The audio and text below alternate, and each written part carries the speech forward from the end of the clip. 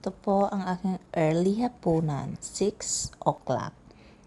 Ganito, bumili ako ng chicken curry noodles. Ang sarap. Ah, tingin pa lang sarap na ito.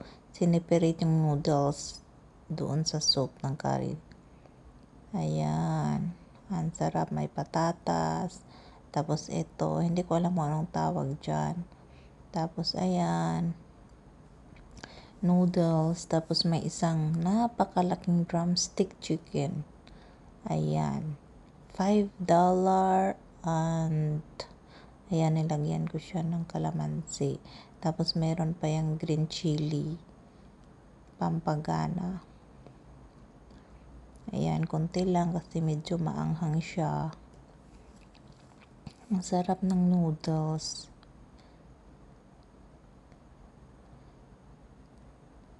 Ayan.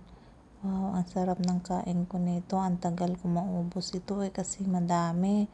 Worth it talaga siya kasi ano lang siya, $5 and 50 cents. So, ganyan na siya. Oh, ang dami. Oh.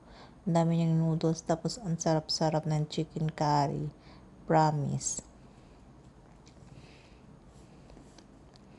Binili ko yun sa harap ng pinagtatrabahuhan ko along Sirangon Road. Bagong store doon.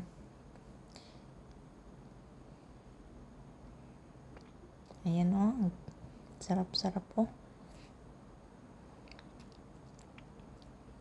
Ayan siya. Tapos ang lambot-lambot pa ng chicken. Ang sarap talaga nguyain.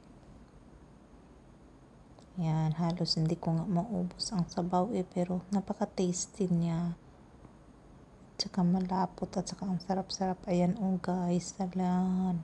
Diba? Kain na na.